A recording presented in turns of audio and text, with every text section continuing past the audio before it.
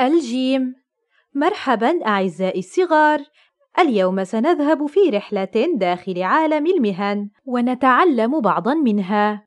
وسنبدأ بحرف الجيم لنتعرف على أولى المهن. في يوم من الأيام زار ناجح وأخته أريج جدهم لقضاء يوم ممتع. فأخذ صديقنا ناجح يريهم صورا له كان قد وضعها في شاشة التلفاز. حينئذ تساءل الجد قائلا ماذا تفعل في هذه الورشة يا ناجح؟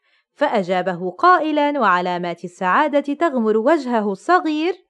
هذا نادي النجارة يا جدي وأنا أتدرب فيه مع أصحابي.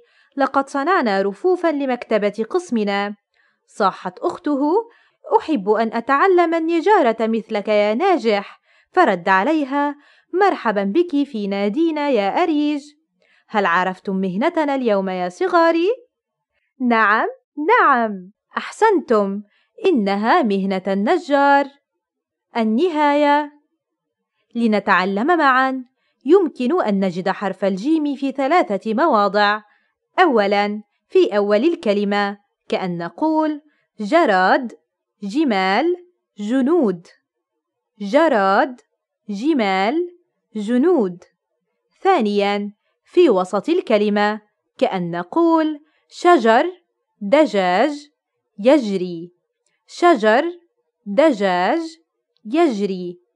ثالثا في آخر الكلمة كأن نقول علاج حجاج زجاج. علاج حجاج زجاج.